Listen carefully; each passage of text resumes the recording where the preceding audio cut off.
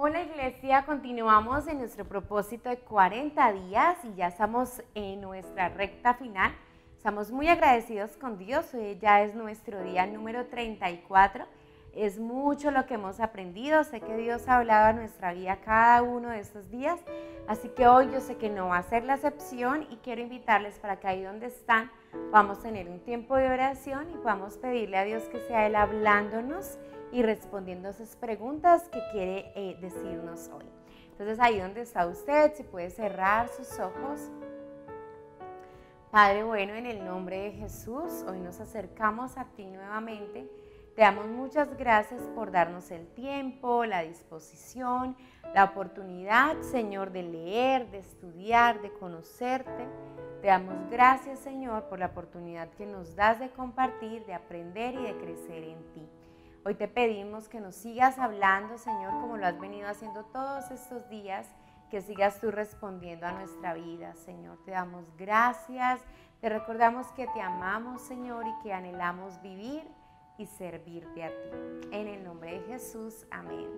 Y bueno, sí, esta semana estamos hablando acerca del servicio y hoy es nuestro día número 34 y el título es Mentalidad de Siervo.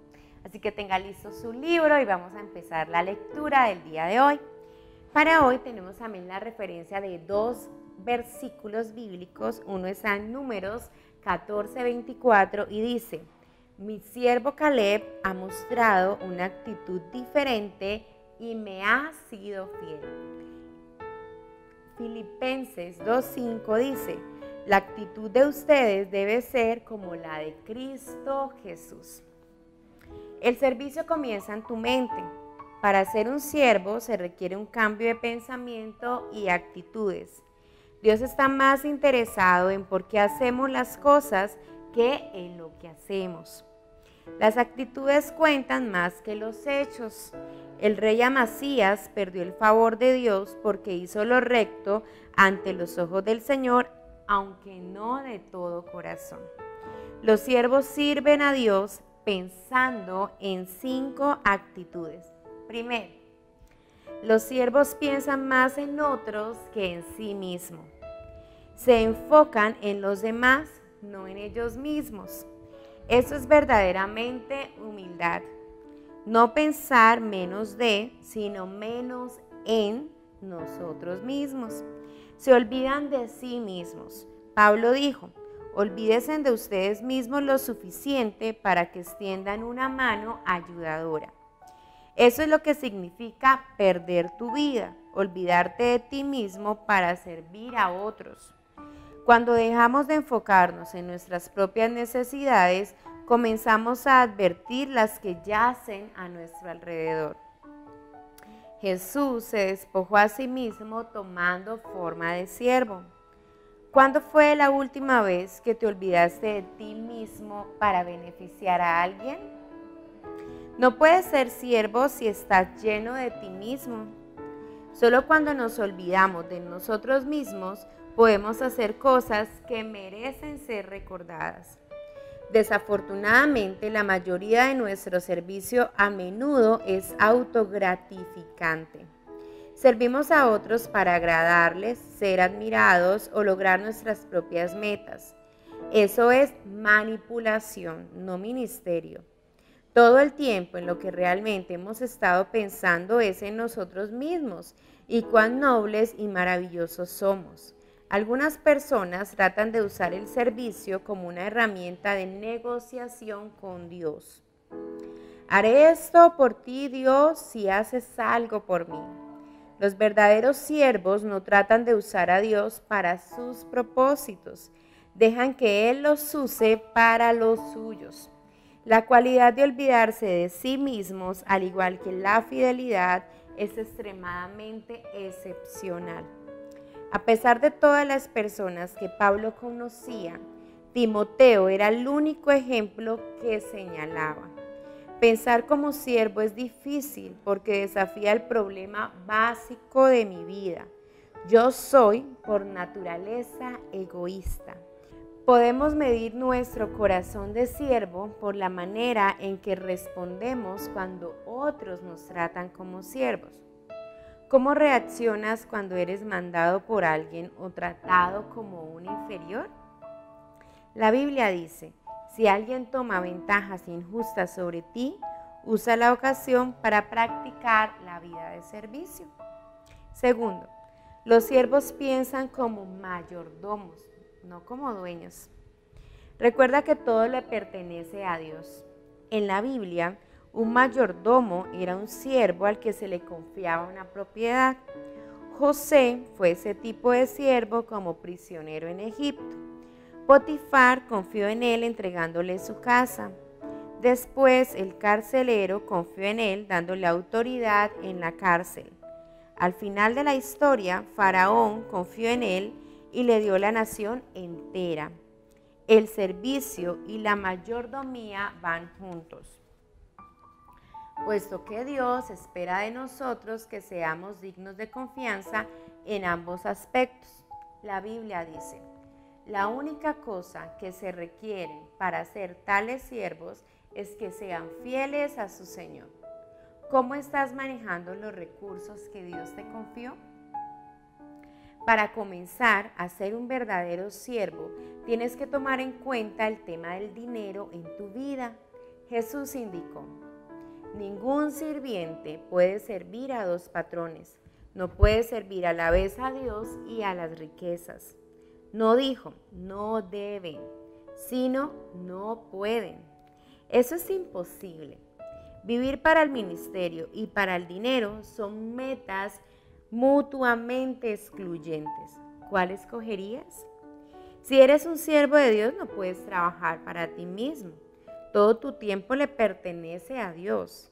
Él insiste en una lealtad exclusiva, no en una fidelidad a medias. El dinero posee el potencial mayor para reemplazar a Dios en tu vida. Más personas se alejan del servicio debido al materialismo que a cualquier otra cosa. Dicen, después de que cumpla mis metas financieras, voy a servir a Dios. Es una decisión necia que lamentarán por la eternidad. Cuando Jesús es tu Señor, el dinero te sirve. Pero si el dinero es tu Señor, te conviertes en esclavo de Él. Ciertamente la riqueza no es un pecado siempre y cuando la usemos para la gloria de Dios. Los siervos del Señor siempre están más conscientes del ministerio que del dinero.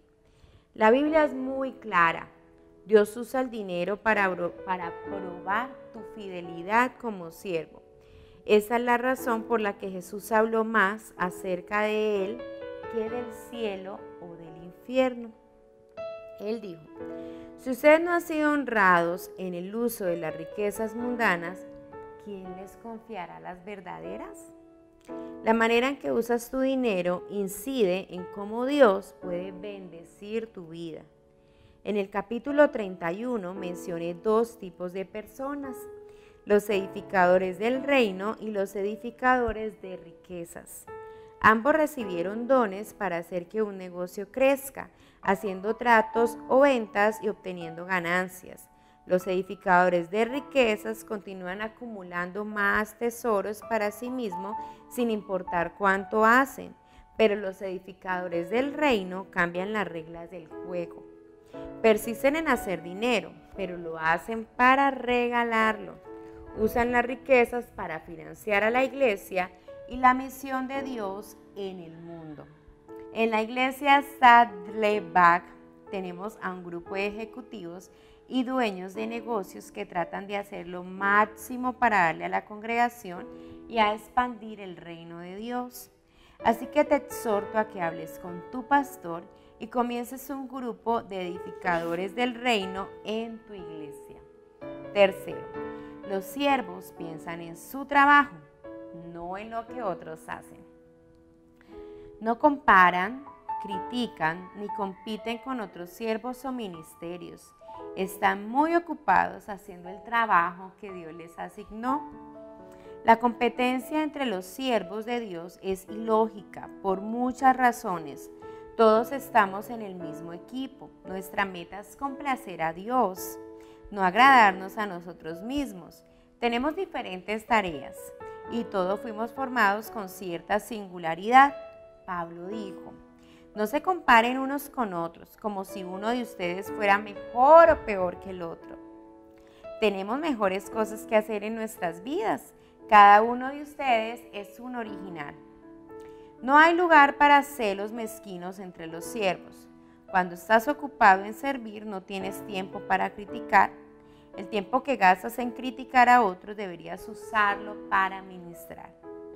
Cuando Marta se quejó con Jesús de que María no la estaba ayudando con su trabajo, perdió su corazón de sierva. Los siervos verdaderos no se quejan de las injusticias, no viven lamentándose ni se resisten con quienes no están sirviendo. Solo confían en Dios y se mantienen sirviendo. No es nuestro trabajo evaluar a otros siervos del Señor. La Biblia dice, ¿quién eres tú para criticar al siervo de otro? El Señor decidirá si su siervo ha hecho lo correcto. Tampoco es nuestro trabajo defendernos de la crítica. Deja que tu Señor lidie con eso. Sigue el ejemplo de Moisés, que mostró una verdadera humildad ante sus opositores.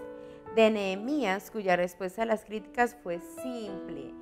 Estoy ocupado. Si bajara yo a reunirme con ustedes, la obra se vería interrumpida. Si sirves como Jesús, puedes esperar ser criticado. El mundo, aún las iglesias, no entienden lo que Dios valora en el servicio.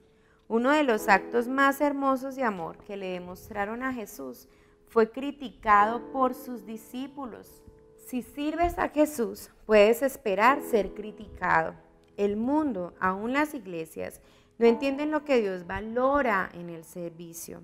Uno de los actos más hermosos de amor que le demostramos a Jesús fue criticado por sus discípulos. María tomó lo más valioso que tenía, un perfume costoso, y lo vertió sobre Jesús. A tan espléndido servicio los discípulos lo llamaron derroche. Sin embargo, Jesús lo llamó una obra hermosa. Y eso es lo que importa. Tu servicio a Cristo nunca es considerado como pérdida, aunque otro lo diga. Cuarto, los siervos basan su identidad en Cristo.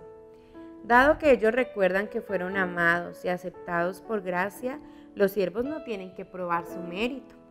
Voluntariamente aceptan tareas que otras personas inseguras consideran inferiores. Uno de los ejemplos más conmovedores de servicio es la imagen misma que Jesús muestra cuando le lava los pies a los discípulos. Esto era un equivalente a lo que hoy sería lustrar el calzado, un trabajo sin prestigio. Sin embargo, Jesús sabía quién era Él de manera que la tarea no amenazaba su propia imagen. La Biblia dice, sabía Jesús que el Padre había puesto todas las cosas bajo su dominio y que había salido de Dios y a él volvía. Así que se levantó de la mesa, se quitó el manto y se ató una toalla a la cintura. Si piensas ser un siervo, debes tener muy definida tu identidad en Cristo. Solo las personas seguras pueden servir. Las inseguras siempre se preocupan de cómo pueden ser vistas por los demás. Temen manifestar sus debilidades y ocultan bajo mantos protectores su orgullo y pretensión. Mientras más inseguro seas, más quieres que te sirvan y más necesitarás la aprobación. Henry Nowen dijo, para que podamos servir a otros debemos morir por ellos. Eso significa que tenemos que dejar de medir nuestros significados y valores con, la vara de medir de otros. Entonces comenzaremos a ser libres para ser misericordiosos. Cuando basas tu valor y tu identidad en tu relación con Cristo, te liberas de las expectativas de otros y eso te permite servir con lo mejor de ti. Los siervos no necesitan cubrir sus paredes con placas y premios para avalar su trabajo. No les interesa que se, dirijan, a ellos con títulos, ni les gusta considerarse superiores. Los siervos hallan que los símbolos del estátulo son innecesarios y no miden su valor por sus logros. Pablo dijo, porque no es aprobado el que se recomienda a sí mismo, sino aquel a quien recomienda el Señor. Si alguien tuvo oportunidad de ser ostentoso debido a sus conexiones y parentesco fue Santiago, el medio hermano de Jesús. Él tuvo las credenciales de crecer con Jesús como su hermano. Sin embargo, en la introducción de su carta simplemente se refiere a sí mismo como siervo de Dios y del Señor Jesucristo. Mientras más te acerques a Jesús, menos necesitarás promocionarte. Número 5. Los siervos piensan en el ministerio como una oportunidad, no como una obligación. Disfrutan ayudando a la gente, supliendo sus necesidades y realizando su ministerio. Quinto, los siervos piensan en el ministerio como una oportunidad, no como una obligación. Disfrutan ayudando a la gente, supliendo sus necesidades y realizando su ministerio sirven al Señor con regocijo. ¿Por qué lo hacen con regocijo? Porque aman al Señor y están agradecidos por su favor.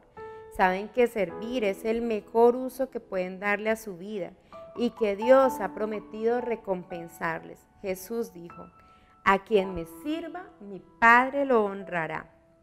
Pablo, por su parte, afirmó, porque Dios no es injusto como para olvidarse de las obras y del amor que, para su gloria, ustedes han mostrado sirviendo a los santos como lo siguen haciendo. Imagínate qué pasaría si solo el 10% de los cristianos en el mundo tomara en serio su rol como siervo. Imagínate todo lo bueno que podría hacerse. ¿Estarías dispuesto a ser una de esas personas? No importa la edad que tengas, Dios te usará si comienzas a actuar y pensar como siervo. Albert Schweitzer dijo, las únicas personas realmente felices son aquellas que han aprendido a servir. De esta manera finalizamos nuestro día número 34 y vamos a pensar en mi propósito. Punto para reflexión. Para ser siervo debo pensar como siervo. Versículo para recordar. La actitud de ustedes debe ser como la de Cristo Jesús. Filipenses 2.5. Pregunta para considerar. ¿Me preocupo más por ser servido que por servir a otros? Bueno, y de esta manera terminamos nuestro día número 34. Es maravilloso ver cómo Jesús, con su ejemplo, nos enseña el servicio. Y creo que eso es un gran privilegio, poder aprender del Maestro que lo hizo práctico. Así que Dios nos ayude a ser siervos como Dios quiere que seamos y vamos a orar por eso. Padre, bueno, en el nombre de Jesús te damos gracias Jesús porque nos dice un ejemplo de servir de una manera práctica, no solo en teoría, sino que tú mismo te ceñiste la toalla en tu cintura y lavaste los pies de los discípulos. Gracias por darnos esas lecciones prácticas de lo que es el servicio y ayúdanos también a hacerlo a nosotros, a ver la importancia del servir, Señor, de servir a otros. Te damos muchas gracias en el nombre de Jesús. Amén. Iglesia y amigos, de esta manera hemos terminado este día número 34. Si ustedes desean, pueden tomar una fotografía, etiquetar arroba IMEC Central, hashtag Iglesia en Casa y de esta manera vamos a poder conocerles y responder también inquietudes o compartir sus comentarios referente a la lectura del día de hoy. Les esperamos el día de mañana en este mismo horario. Ha sido un gusto compartir con ustedes. Dios les bendiga.